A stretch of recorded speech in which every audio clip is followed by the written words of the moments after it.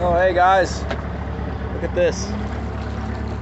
Thank you, Jesus, for a day like this. It is just perfect out.